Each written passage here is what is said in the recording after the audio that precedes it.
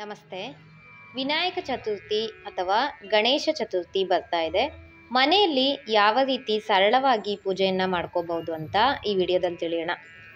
ಮೊದಲನೇದಾಗಿ ಈ ವರ್ಷ ಅಂದರೆ ಎರಡು ಸಾವಿರದ ಇಪ್ಪತ್ತೆರಡರಲ್ಲಿ ಗಣೇಶ ಚತುರ್ಥಿ ದಿನಾಂಕ ನೋಡೋದಾದರೆ ಮೂವತ್ತೊಂದು ಎಂಟು ಎರಡು ಸಾವಿರದ ಇಪ್ಪತ್ತೆರಡು ಬುಧವಾರ.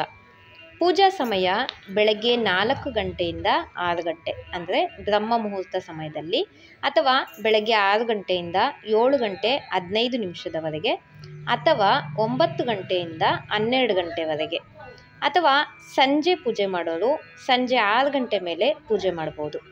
ಈ ಸಮಯಗಳಲ್ಲಿ ನಿಮಗೆ ಯಾವ ಸಮಯ ಅನುಕೂಲವಾಗಿದೆಯೋ ಆ ಸಮಯದಲ್ಲಿ ಪೂಜೆಯನ್ನು ಮಾಡ್ಕೋಬೋದು.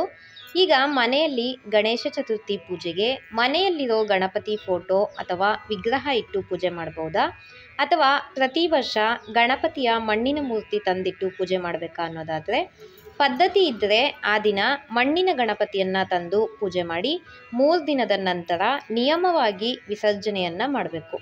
ತಂದು ಪೂಜೆ ಮಾಡಿ ಯಾರೋ ವಿಸರ್ಜನೆ ಮಾಡ್ತಾರೆ ಅಂತ ಅವರ ಗಣಪತಿ ಜೊತೆ ಇದನ್ನು ತಗೊಂಡೋಗಿ ಇಡೋದು ತುಂಬ ಜನ ಮಾಡ್ತಾರೆ ನಿಯಮವಾಗಿ ಪೂಜೆ ಮಾಡಿ ವಿಸರ್ಜನೆ ಮಾಡೋ ಹಾಗಿದ್ದರೆ ಮಾತ್ರ ಗಣಪತಿ ಮೂರ್ತಿಯನ್ನು ತಂದಿಟ್ಟು ಪೂಜೆ ಮಾಡಿ.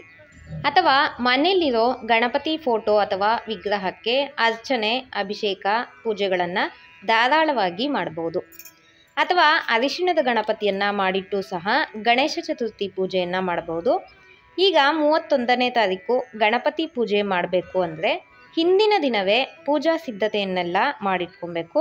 ಮಾರನೇ ದಿನ ಬೆಳಗ್ಗೆ ಬೇಗ ಎದ್ದು ತಲೆ ಸ್ನಾನ ಮಾಡಿ, ಈಗ ತಿಳಿಸಿರೋ ಒಳ್ಳೆಯ ಸಮಯಗಳಲ್ಲಿ ನಿಮಗೆ ಯಾವ ಸಮಯ ಅನುಕೂಲ ಇದೆಯೋ ಆ ಸಮಯದಲ್ಲಿ ಗಣಪತಿ ಪೂಜೆಯನ್ನು ಮಾಡಿ. ನೈವೇದ್ಯಕ್ಕೆ ಹಾಲು, ಹಣ್ಣುಗಳು, ಕಡಲೆಕಾಳು ಉಸ್ಲಿ ಮೋದಕ, ಕಡುಬು ಎಲೆ ಅಡಿಕೆ, ಬಾಳೆಹಣ್ಣು ಅಂತ ಸಾಮಾನ್ಯವಾಗಿ ನಾವೇನೇನು ಇಡ್ತೀವೋ ಅದನ್ನೆಲ್ಲ ಇಟ್ಟು ಇಟ್ಟರೆ ಸಕ್ಕರೆ, ಪೊಂಗಲ್, ಅವಲಕ್ಕಿ ಇದೆಲ್ಲ ಮಾಡಿ ಇಡ್ಬೋದು.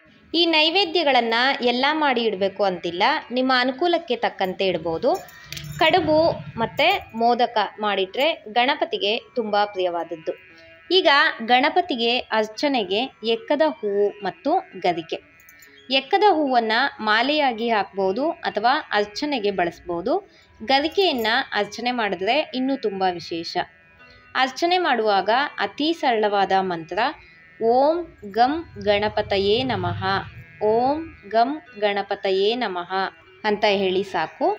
ಅದರ ಜೊತೆಗೆ ಮನೆಯಲ್ಲಿ ಮಕ್ಕಳಿದ್ದರೆ ಅವರನ್ನು ಕೂರಿಸಿ ವಿನಾಯಕನ ಭಕ್ತಿಗೀತೆಗಳನ್ನು ಹೇಳಿಸಿ ದೀಪ ಧೂಪ ಆರಾಧನೆಯನ್ನು ತೋರಿಸಿ, ನಂತರ ಪ್ರಸಾದವನ್ನು ಮನೆಯಲ್ಲಿರೋರು ಸೇರಿಸ್ಬೋದು. ಗಣಪತಿ ಮೂರ್ತಿಯನ್ನಿಟ್ಟು ಪೂಜೆ ಮಾಡುವವರು ಮೂರು ದಿನ ಅಥವಾ ಐದು ದಿನ ಮನೆಯಲ್ಲಿಟ್ಟು ಪೂಜೆ ಮಾಡಿ ನಂತರ ನಿಯಮವಾಗಿ ವಿಸರ್ಜನೆ ಮಾಡಬೇಕು. ಅಲ್ಲಿವರೆಗೂ ಪ್ರತಿದಿನ ಬೆಳಗ್ಗೆ ಅಥವಾ ಸಂಜೆ ಯಾವುದಾದರೂ ಒಂದು ಸಮಯದಲ್ಲಿ ಏನಾದರೂ ಒಂದನ್ನು ನೈವೇದ್ಯ ಇಟ್ಟು ದೀಪ, ಧೂಪ, ಆರಾಧನೆಯನ್ನು ಮಾಡಬೇಕು. ಗಣೇಶ ಚತುರ್ಥಿಯ ಸರಳವಾದ ಪೂಜಾ ವಿಧಾನವನ್ನು ಈಗ ತಿಳ್ಕೊಂಡ್ವಿ. ಈ ಒಳ್ಳೆಯ ಮಾಹಿತಿಯನ್ನು ಬೇರೆಯವ್ರಿಗೂ ಶೇರ್ ಮಾಡಿ.